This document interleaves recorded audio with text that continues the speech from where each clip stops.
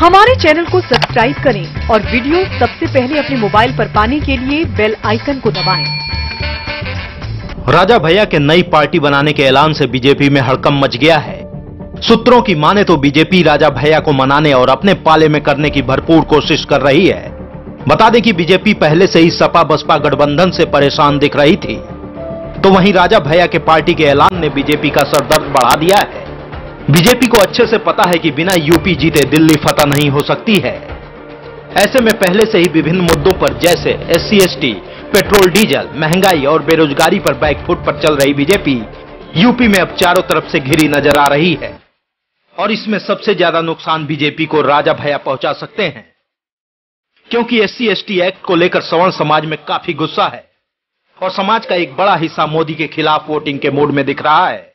ऐसे में राजा भैया की पार्टी के ऐलान से सवर्णों का झुकाव राजा भैया की पार्टी की तरफ़ हो सकता है। क्योंकि राजा भैया ने एस सी एक्ट पर मोदी और योगी के खिलाफ खुलकर विरोध किया था और सवर्ण समाज के साथ खड़े दिखे थे। ऐसे में बीजेपी के लिए मुश्किलों के द्वार खुल गए हैं। एक तरफ़ सपा बसपा के गठबंधन की खाई है तो दूसरी तरफ़ राजा की पार्टी का कुआँ है।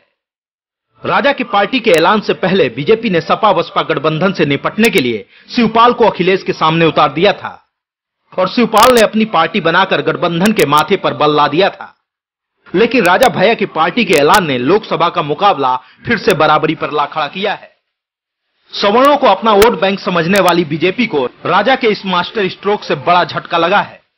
यही नहीं, राजा को पार्टी के नाम पर सवर्णों का खूब समर्थन भी हासिल हो रहा है, जिसको देख बीजेपी में हड़कम मचा हुआ है और बीजेपी अब अपनी रणनीतियों पर पुनः विचार करने में जुट गई है। राजनीति के शतरंज पर राजा के इस चाल से विरोधियों को चेकमेट मिल गया है।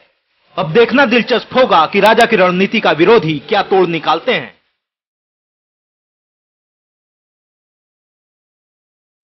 Bureau report, News I India.